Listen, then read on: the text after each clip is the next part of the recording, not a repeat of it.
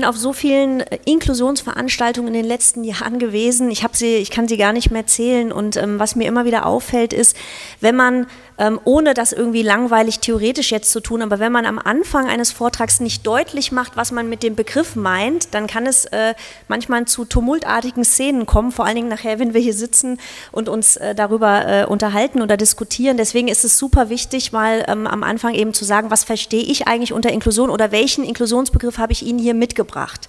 Herr Pelke hat vielleicht einen ganz anderen, da kommen wir nachher wahrscheinlich auch noch äh, miteinander ins Gespräch. Ähm, was ich dann tun möchte, also das werde ich eben ähm, ja sehr versuchen, sehr anschaulich äh, zu tun, ohne irgendwie Ihnen eine wissenschaftliche Abhandlung hier zu liefern. Ich komme auf das professionelle Unbehagen in inklusiven Bildungsreformen zu sprechen. Wir hatten eben das, den, den Begriff schon Überforderung, also große Überforderungssituationen im Moment im Bereich der Schule, aber auch im außerschulischen Bereich damit umzugehen.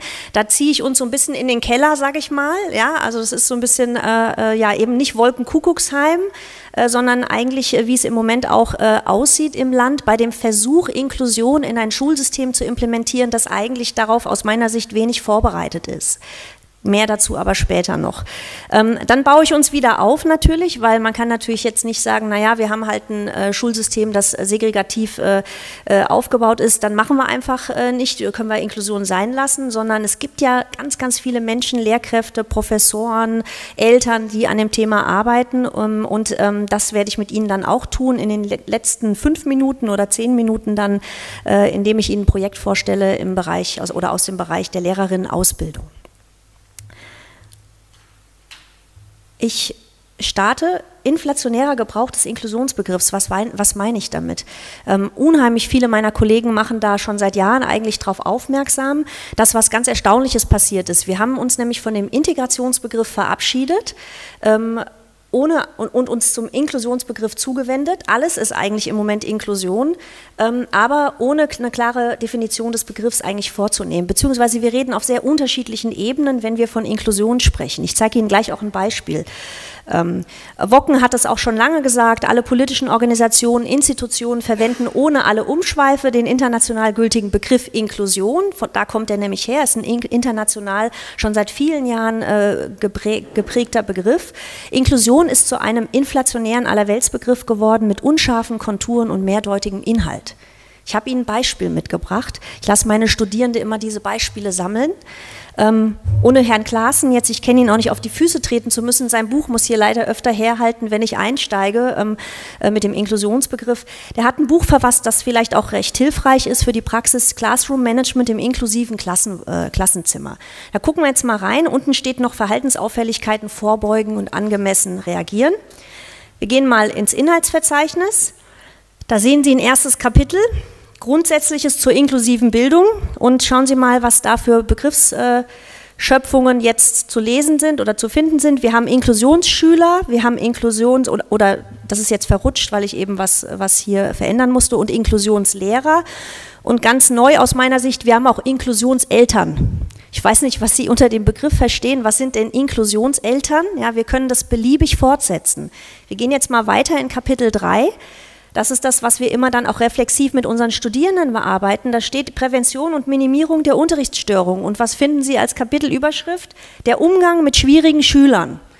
Ich weiß nicht, ob Ihnen das auch irgendwie aufstößt, aber aus meiner Sicht fallen wir da meilenweit hinter das zurück, was wir schon lange erarbeitet haben. Es gibt keine schwierigen Schüler. Ja, es gibt Situationen, herausfordernde Situationen. Man muss das immer systembezogen interpretieren und deswegen auch aus meiner Sicht erinnern Sie sich an den Titel ja, ähm, das inklusive Klassenzimmer Inklusion wird oder Integration wird ersetzt durch Inklusion und dann aber, wenn man ähm, weiterhin durchgeht äh, durch das Werk, sieht man eben schon eben, ähm, ja, was ist da eigentlich für eine pädagogische Grundhaltung vielleicht auch noch nicht reflexiv aufgearbeitet worden. Ich finde das ziemlich dramatisch, weil Lehrerinnen und Lehrer im Moment nach diesen rezepthaften Dingen suchen, ja, weil sie müssen umsetzen, sie können sich nicht erst fortbilden äh, in einem abgetrennten Raum, sondern sie müssen ja die Innovation eben umsetzen und ähm, das ist aus meiner Sicht Sicht sehr schwierig, wenn man da eben so sehr rezeptartig äh, vorgeht. Hier kennen Sie wahrscheinlich unterschiedliche Begriffsprägungen auch. Ich weiß nicht, ob Sie mal Inklusion äh, gegoogelt haben, wahrscheinlich jeder von uns mittlerweile. Wenn man das vor ein paar Jahren gemacht hat, vor drei, vier Jahren, ist man sofort auf englischsprachigen Seiten gelandet. Bei uns gab es dazu ganz wenig. Wenn Sie es heute tun, finden Sie eine unzählige, also eine Vielzahl von unterschiedlichen Begriffen, Rollstühle in allen Varianten, ja, also ähm, sehr viel, äh, sehr viel äh, geht eben, geht, es geht um das Thema der sogenannten Behinderung, äh, sehr provokante Thesen auch, durchgestrichene Förderschule, Inklusion als Menschenrecht ist etwas, was sehr stark auch, ähm, auch ähm, geprägt wird. Jetzt bin ich noch mal ein bisschen provokant. Als ich die Anfrage hier bekam, hat, hat, ließ, las ich nur Speed Lab, digitale Inklusion habe ich so ein bisschen geschmunzelt und habe gedacht, wow, die Wortschöpfung habe ich noch nicht gehabt. Was ist denn jetzt digitale Inklusion? Ja, ich bin jetzt da mal ganz ehrlich.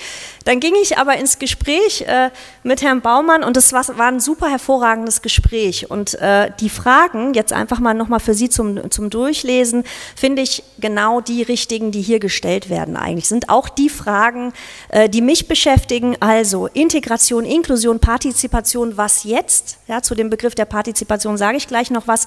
Was ist denn eigentlich eine inklusive Didaktik? Wir haben da mal einen Sammelband zu veröffentlicht, schon vor zwei, drei Jahren, ähm, der sehr gut angenommen wurde, aber ich hatte damals ein ganz mulmiges Gefühl, weil ich dachte, wir haben doch eigentlich noch gar nichts. Ja? Also wir machen eigentlich nur noch mehr Fragen auf. Und wenn Sie die Fragen, ähm, die wir miteinander in der Vorbesprechung eben diskutiert haben, nochmal weiter runterlesen, sehen Sie eigentlich ähm, aus meiner Sicht eben sehr, sehr zentrale Fragen, ja, dieser großen Herausforderung äh, zu, zu begegnen. Also klar, eine Begriffs-, äh, eine neue Wortschöpfung. Ja, es gibt jetzt auch digitale Inklusion, aber aus meiner Sicht eben sehr, sehr zentrale oder wichtige Chancen eben auch dieser großen vielleicht Überforderungssituation auch äh, zu begegnen, die wir aktuell in der Schule haben. Also, das würde ich jetzt relativ schnell hier durchgehen, weil ich habe ja angekündigt, ich finde es wichtig, eben sich erstmal zu verdeutlichen, was meinen wir eigentlich, wenn wir von Inklusion sprechen. Ich habe es mir zu eigen gemacht, eigentlich schon vor langer Zeit den international gebräuchlichen Begriff zu benutzen. Wenn Sie sich die UNESCO-Guidelines zum Thema Inklusion anschauen, ähm, dann finden Sie immer wieder diese, diese ähm, Formulierung. Also es geht um alle Lernenden. Ähm, den Auszug, den wir eben gerade hatten, hat das, der hat das eigentlich genau ähm, beschrieben auch. Also es geht keine Fokussierung auf eine Heterogenitätsdimension, Dimension, sondern es geht darum, wenn wir über Inklusion sprechen, alle Dimensionen von Vielfalt im Blick zu behalten. Jetzt nicht erschrecken, viel zu lang, um äh, ein Zitat oder äh, eine, eine, ähm, eine äh, ja, um es auf eine Folie zu bringen. Deswegen habe ich die wichtigen Begriffe fett gedruckt. Für mich die am besten händelbarste, zutreffendste, auch international anschlussfähige ähm, Idee, inklusive Pädagogik zu formulieren. Biva hat das 2009 schon, äh, schon getan und hier sehen Sie die zentralen Begriffe eigentlich. Es geht um darum Etikettierung und Klassifizierung, also der schwierige Schüler, ja, darauf zu verzichten, ja, diese vereinfachtende Sicht, dieses Label Labeling, wie wir international sagen, eben aufzugeben im pädagogischen Handeln, in Schule, aber natürlich auch außerschulisch.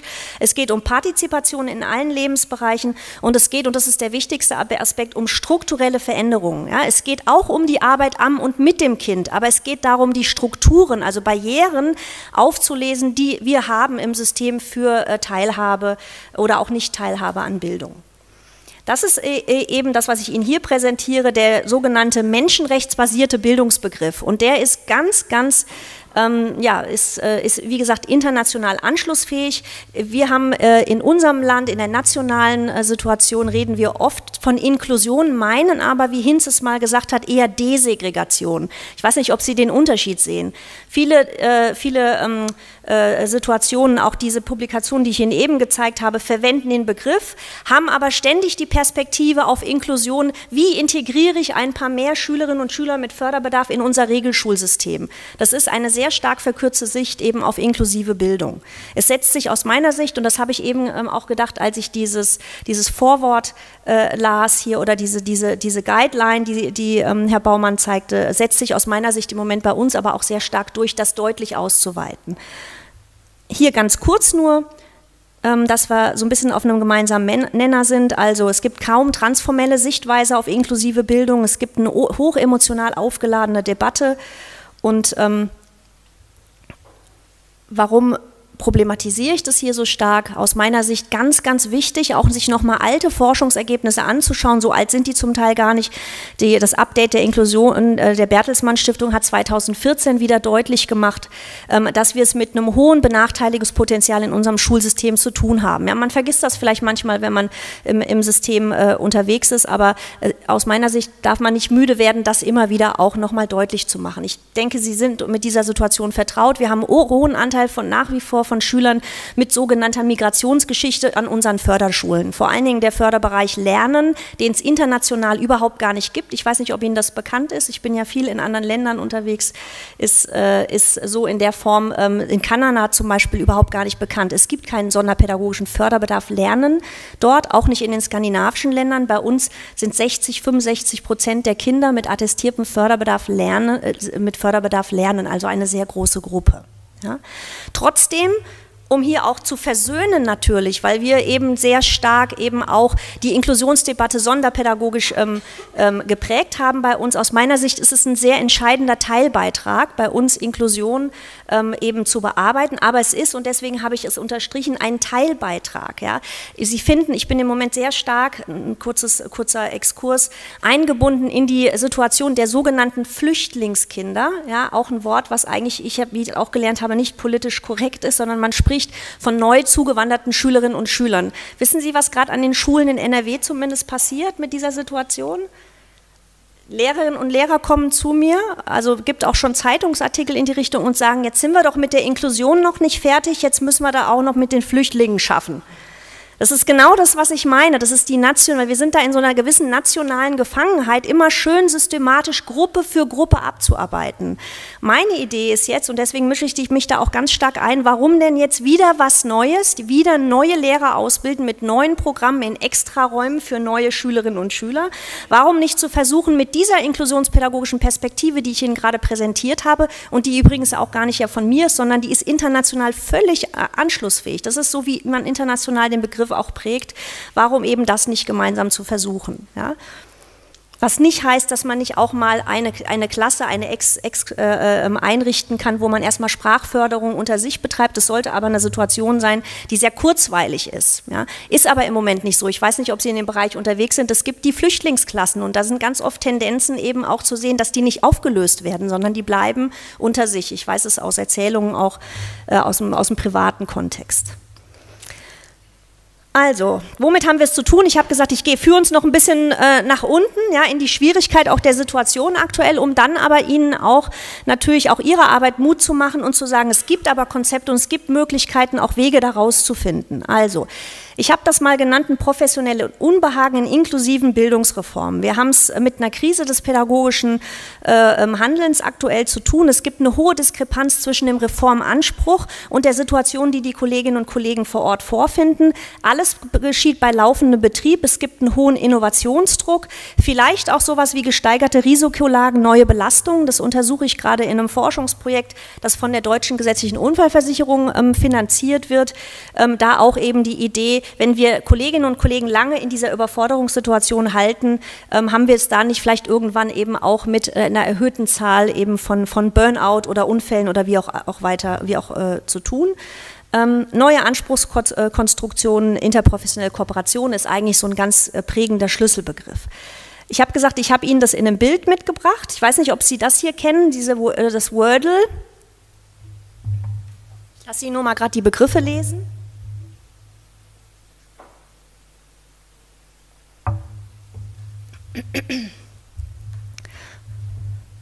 Das ist unten jetzt wieder ein bisschen abgeschnitten.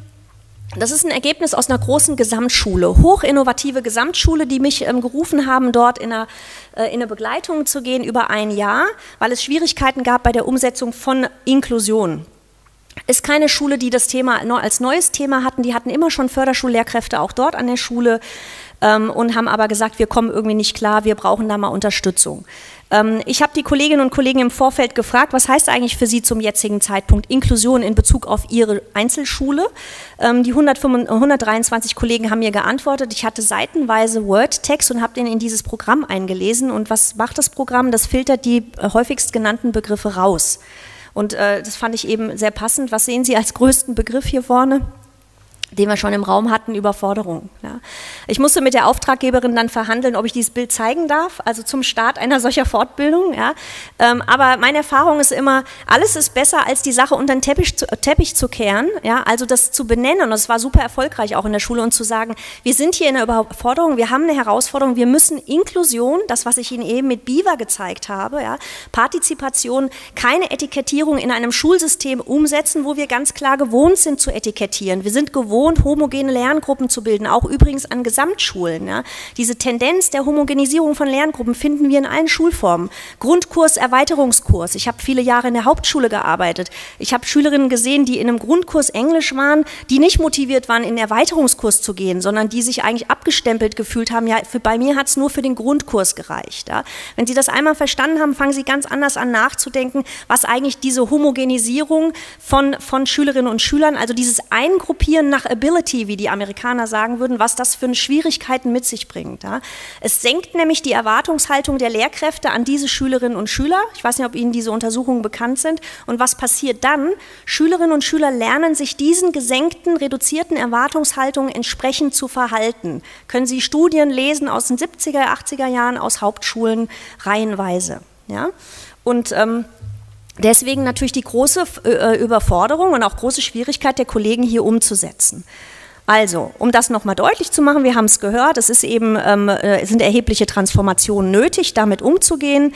Es geht im Moment sehr häufig auch um eine Unklarheit in den Rollen und vor allen Dingen um Veränderungen auf der Unterrichtsebene. Ja, wir haben immer schon heterogene Lerngruppen, aber wenn jetzt neue Schülerinnen und Schüler dazukommen, wird eventuell sich diese Heterogenität der Lerngruppe auch nochmal verändern, ja, in welche Richtung auch immer.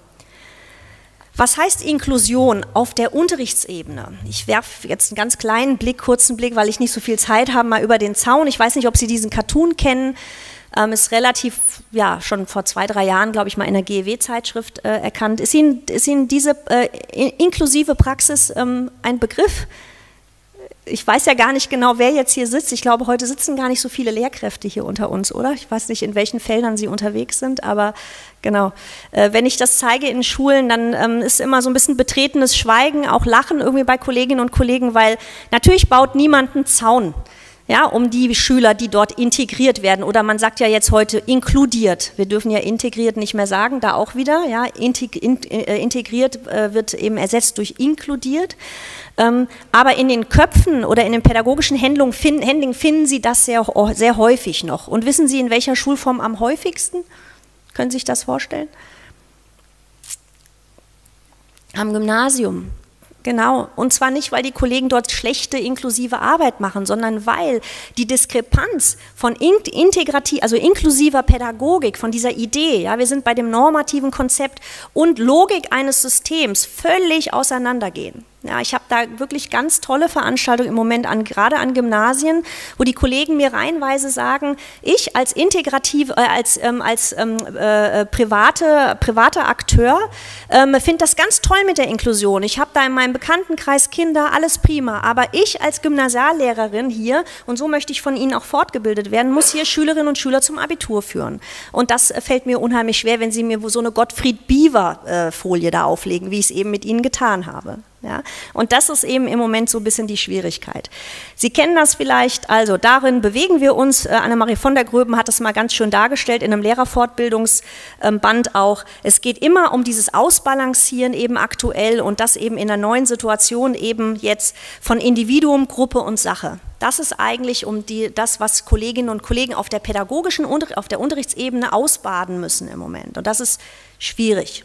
Jetzt nicht erschrecken, die Folie ist auch viel zu voll, ich wollte sie nur einmal gezeigt haben. Ähm, es gibt eine Menge mittlerweile ähm, Ideen, wie eigentlich eine inklusive Didaktik funktionieren kann. Eine der umfassendsten hat Wocken mal 2010 ähm, formuliert, die die können Sie, ähm, Sie kriegen ja die Folien auch von den Veranstaltern hier, die können Sie einfach mal von oben nach unten durchgehen. Man fängt an bei Vielfalt der Kinder und liest dann eigentlich von oben nach unten durch. Das ist praktisch dieser hohe Anspruch, was ist eigentlich ein inklusiver Unterricht. Was ich daran gut finde, ist, weil Wocken ist einer der wenigen, auch der die Vielfalt der Pädagogen mit ins Spiel bringt. Ja, inklusiven Unterricht kann man nicht alleine machen, sondern man braucht multiprofessionelle Teams. Man braucht unterschiedliche Expertise. Man braucht natürlich auch Lehrkräfte mit sonderpädagogischer Expertise, mit sonderpädagogischer Ausbildung. Ja, weil da sitzt im Moment bei uns ganz klar natürlich auch äh, Expertise im Bereich äh, pädagogischer Psychologie oder Schwierigkeiten im Bereich des Lernens. Ich habe gesagt, ganz kurzer Blick über den Zaun. Ähm, beim selber nochmal beim Recherchieren ähm, kann ich Ihnen, also hey, ich hätte Ihnen gerne mitgeteilt, dass die ähm, im, im, Ausland alles besser läuft und dass da ganz viele Untersuchungsergebnisse schon da sind zu digitaler Inklusion, ist aber nicht der Fall. Ja? Also ich habe bei uns ganz wenig gefunden, habe auch international ähm, noch gar nicht so viel ähm, dazu gefunden. Deswegen heute nur, ähm, bevor wir uns mit, mit meinem eigenen Projekt beschäftigen, ein Einblick. Ich war gerade vor zwei Wochen in Island, ähm, völlig, war völlig geflasht, sage ich jetzt mal äh, neudeutsch, von der Art, wie die dort in einer Klasse digitale Inklusion durchgeführt haben. Völlig heterogene Schülerinnen und Schülerschaft. Auf diese Schule gehen alle Schülerinnen und Schüler des Umfeldes, egal ob mit Rollstuhl, ohne, ähm, welche Sprachherkunft auch immer, soziokultureller Status, sexuelle Orientierung, völlig egal. Schule für alle Schüler in diesem Wohngebiet. Und es gibt, eine, äh, gibt dort nicht nur eine Laptop-Klasse, sondern es ist generell so, dass ähm, im Bereich eben ab Klasse 9 oder 10 äh, Schülerinnen und Schüler mit Laptops arbeiten. Ich habe Ihnen nur so ein paar Einblicke mitgebracht, habe ein langes Interview geführt mit der Kollegin, das ist das Bild von vorne. Und wie gesagt, das ist alles noch jetzt ganz grob, weil ich es noch nicht ausgewertet habe. Ähm, aber für heute, weil es eben auch ganz frisch ist, habe ich Ihnen nur mal einen kleinen Auszug aus diesem Interview mitgebracht, weil mich natürlich auch interessiert hat. Es sieht so einfach hier aus, ja. Wie schaffen Sie hier digitale Inklusion? So habe ich es mal genannt, weil ich ja auch jetzt wusste, ich bin heute hier bei Ihnen. Warum klappt es in Reykjavik in Island? Die Kollegin hat mir gesagt, das ist ein fester Bestandteil des Schulkonzepts, keine Deprivatisierung. Bei uns in unseren Schulen haben wir häufig Lehrkräfte, die halt so ein individuelles Febel haben für den Laptop, die implementieren das dann in ihren Unterricht. Das haben sie dort nicht gefunden gefunden. Ja, dort ist es Schulkonzept. Also eine ganz äh, wichtige Gelingensbedingung. Zentraler äh, Bestandteil der Lehrer Aus- und Fortbildung. Die Kolleginnen, die dort waren, haben mir gesagt, wir lernen das schon in der Uni. Ja, digitale Medien ist dort eben fester Bestandteil. Technischer Support in der Schule, ganz klar, ähm, hat sie mir benannt als eine Gelingensbedingung. Intensive Elternarbeit, die Eltern mit reinzuholen. Ja, das ist keine Sache von Schule, digitale Bildung, sondern äh, Eltern werden mit äh, hineingebracht. Und das Letzte fand ich auch nicht unwichtig, weil ich habe sie gefragt, äh, läuft das hier die ganze Zeit so ab irgendwie mit diesen Laptops? Und sie hat gesagt, nein, nein, also keine Abnutzung auch dieses einen äh, äh, Weges, sondern ständige Variation von neuen Medien und herkömmlichen Medien. Das fand ich ganz spannend. Ja, die lernen auch ganz klar noch mit traditionell mit Schulbüchern, mit Arbeitsblättern, aber eben ähm, dann gibt es eben auch Situationen, wo sie eben mit diesen Laptops arbeiten. Das ist ein bisschen verzogen hier. Ich wollte Ihnen, habe Ihnen ein Projekt mitgebracht und habe ja gesagt, ich will uns auch hier wieder aufbauen, trotz der großen Schwierigkeit, das zu implementieren in Schule, in Lehrer, Aus- und Fortbildung. Wollte ich Ihnen zeigen, was wir an der Kölner Uni mit Lehramtsstudierenden gemacht haben und das war ähm, mit wenig Ressource trotzdem super erfolgreich.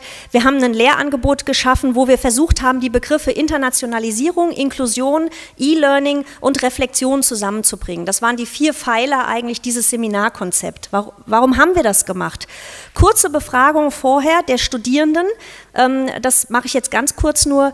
Ähm, was finden wir in deutschen, äh, in deutschen Lehramtsseminaren, sage ich mal? Ich sage jetzt deutschen, weil ich, also ich, ich beziehe mich hier auf drei Standorte, an denen ich unterrichtet habe und überall habe ich diese Daten gefunden. Wenn Sie Lehramtsstudierende fragen nach der Möglichkeit der praktischen Umsetzung von Inklusion ins Schulsystem, dann sind die mega skeptisch. Hier sehen Sie es auch. Also drei Viertel der Studierenden sagt eigentlich, kann ich mir das nicht vorstellen, dass es umsetzbar ist. Es ist eine schöne Idee, aber umsetzen schwierig. Ja, eine andere Date, die Sie immer wieder finden, wenn Sie fragen, eben ist ähm, Special Education, also ähm, Sonderpädagogik, sind Schülerinnen und Schüler mit dem Förderbedarf nicht eher auf den Förderschulen, also gut aufgehoben, sehen Sie auch einen hohen Prozentsatz äh, der, der, ähm, der äh, Studierenden, die sagen, ja, ich finde, die Förderschule ist da eben, weil da findet eine spezielle Förderung statt, der bessere Förderort.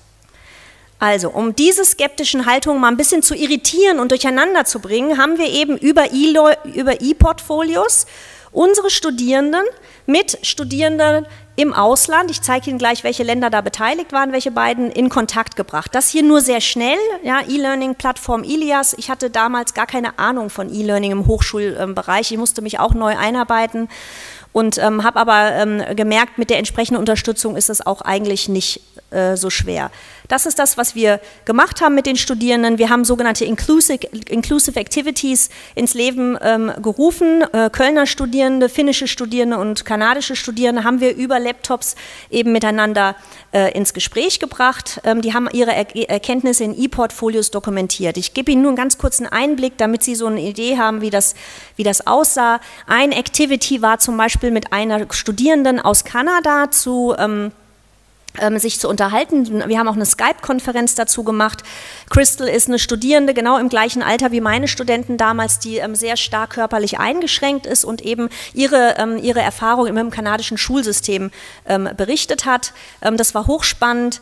Ähm, wir haben sie Critical Peer in Toronto genannt und ich lese das jetzt nicht vor, sondern lasse sie einfach mal lesen, wie da der Kontakt zustande kam. Ja, das war super, super spannend und wir haben geschafft, diese, ich, ich, rede oft davon der nationalen Gefangenheit auch unserer Lehrerinnenbildung, die so ein bisschen aufzulösen. Ja?